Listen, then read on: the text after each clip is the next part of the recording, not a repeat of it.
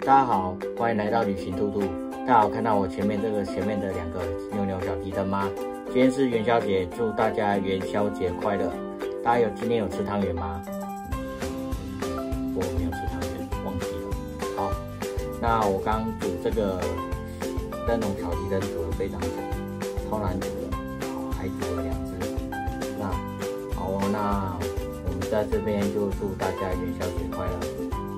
好，就先这样喽。那如果喜欢我们的影片的话，记得按赞、订阅、分享，然后扭扭跟大家祝元宵节，